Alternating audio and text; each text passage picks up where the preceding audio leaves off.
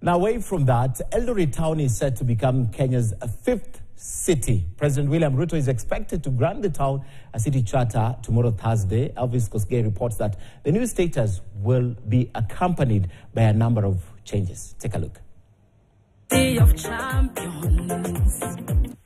An ad hoc committee established in May 2022 presented a report that was approved by Uasin Gishu County Assembly and later adopted by the Senate.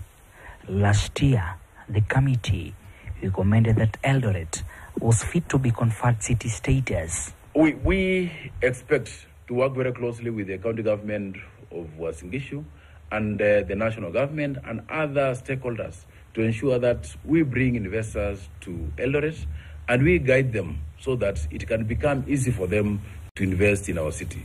We want Eldoret to be the best investment destination here in Kenya and uh, to be a preferred investment uh, city in Kenya among the five cities uh, of Kenya.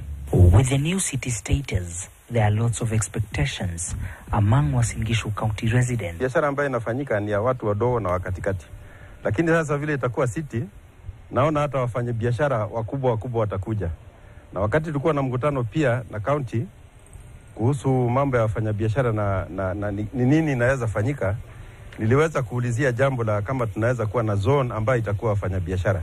Hii town ni strategic kwa sababu ina serve western na ina serve uh, northern frontiers Sudan, uh, Turkana and so on na ina serve sehemu za Kitale. Tuseme ni town ambayo ilikuwa ime, wakati wako umefika.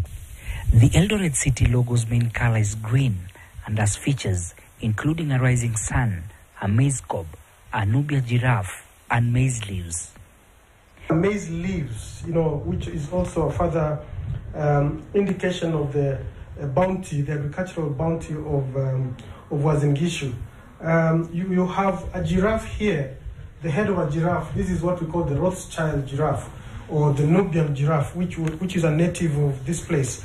Uh, there is a there is a root. There are roots indicated here. Um, of course, as you know, roots symbolize um, stability and life and continuity. And uh, I, years back, um, we had thousands and thousands of acres of wattle trees Besides Nairobi, other cities are Mombasa, Kisumu, and Nakuru. Elvis Kosgei, KTN News, Uasin Gishu County. All right, uh, before we take a break, let's uh, remind you of our big